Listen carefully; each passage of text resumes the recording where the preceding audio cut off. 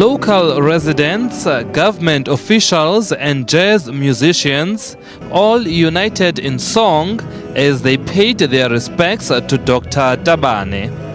Musician Vusi Mahlasela says his musical contributions made both South Africa and Africa proud.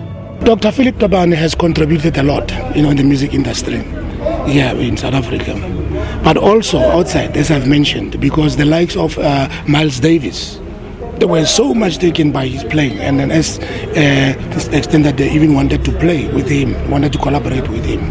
But the thing is, he was a master of his own music, a composer and arranger, and that's what he taught us that we should be our own. There's nothing wrong with getting inspired about other things, but craft your own.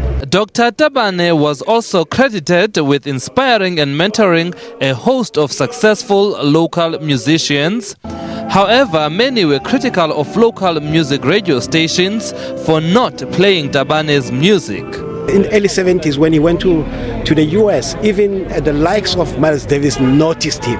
And I remember um, uh, on the news, I think it was the Bantu World back then, that says uh, uh, Malombo Jazzman refuses to work with Miles Davis. So, I mean, he, he's, he's shown that uh, uh, his popularity and uh, the style of music that he brought to the world was one of the greatest that um, unfortunately only just a few are cherishing it because it's not, as I say, popular, popularly played on radio today.